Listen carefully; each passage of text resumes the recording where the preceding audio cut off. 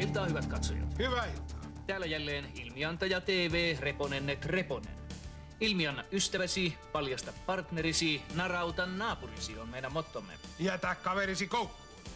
Ohjelman idea on se, että te voitte meille etukäteen lähettää valokuvia tai videoaineistoa ystävistänne, sukulaisistanne, kavereistanne, jotka haluatte narauttaa tai niin sanotusti ilmiantaa.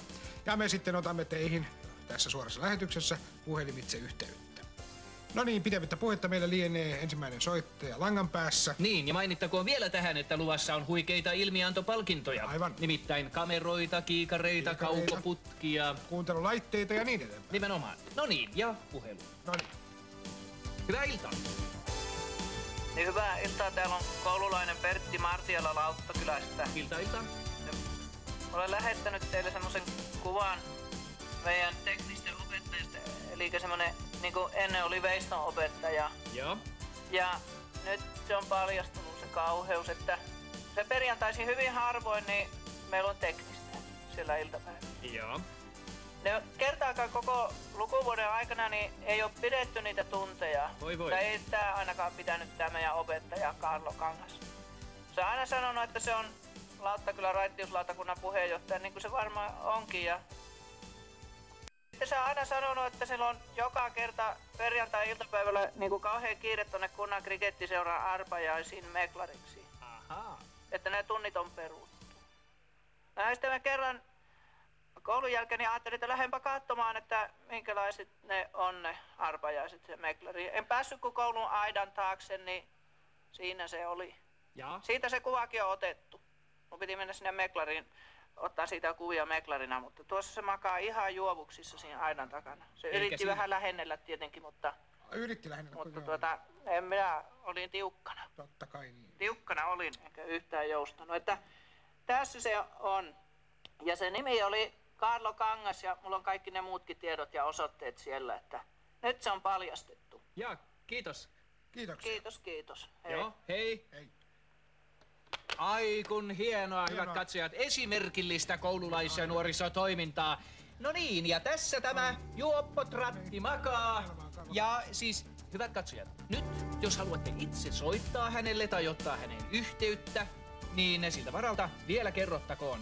Tämä on siis äh, opettaja Karlo Kangas, Huittisten tie 4K, 47300 Lauttakylän. Ja puhelinnumerohan on 922 474 8632. Ja hänelle nyt vaan soittamaan. Niin, nyt vaan puhelimet kuumaksi Lauttakylän suuntaan. Niin, ja sinulle Pertti Martiala on tulossa sinne tällainen uusi kamera, jolla voit ottaa uusia paljastavia kuvia ystävästäsi, naapureistasi. Onneksi olkoon ja tällä esimerkillisellä tavalla kannustamme muitakin nuoria toimimaan ilmiantajina. Joo. Mutta nyt meillä lienee puhelimessa hivenen vanhempi soittaja ymmärtääkseni. Vai? No, kuunnellaan. Äh, halo?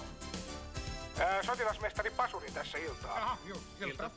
Niin haluaisin tehdä ilmoituksen ilmiannon näistä terroristeista, jotka asuvat meidän seinän takana ja Aha. pudovat niitä kauheita juonia. Niinpä niin. Niin, olen kuunnellut heitä äh, seinän läpi juomalasia apuna käyttäen ja Aivan tuo vanha konsti. kauheista juonistaan. Siitä on, ymmärtääkseni olen lähtenyt sinne valokuvan. Kyllä täältä kuva Täällä se löytyy. on. Juu. Ovat siellä. Ovat, ovat. Kiitos kuulemiin.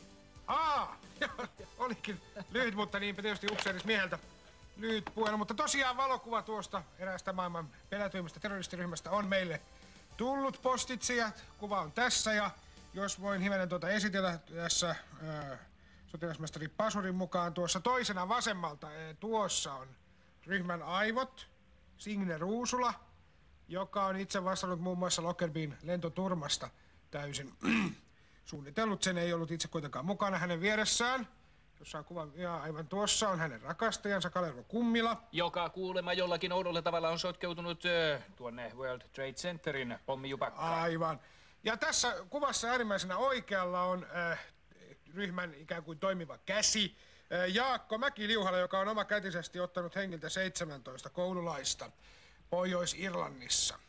Äh, ryhmä kokoontuu ymmärtääkseni Signe Ruusulan luona, siis tämä toinen vasemmalta, että jos näette täältä osoite Helsingin tie 6D18 Loimaa, 6D18 Loimaa Helsingin tiellä ja puhelinnumero 918 3388477. Ja sinnekin vaan puhelimet kuumaksi ja ää, luutatti Pasurille. Ah, oliko se sotilasmestari? Sotilasmestarin, Sotilasmestari. Pasurille. Me lupaamme lähettää nämä niin työssä kuin vapaa-ajassakin käytettävät kiikarit. Niin, ja tästä kuulemma on aiheutunut ö, sotilasmestarin porraskäytävässä ikävää haittaa niiden Aivan. kokousten jälkeen. Siellä on löyhkänyt tavattomasti. Niin, siellä on suoraan sellainen virtsattu. Virtsattu. Ja tuota, No niin, ja sotilasmestari, kiitoksia teille tästä paljastuksesta. On Näin. hienoa, että ihmiset viitsivät tällä tavalla vaivautua. Niin, eiköhän tästä yhteiskunnan moraalikin jollakin tavalla parane. joo, Näin. tässä lienee tältä iltaa kaikki. Ja tapaamme jälleen. Hei.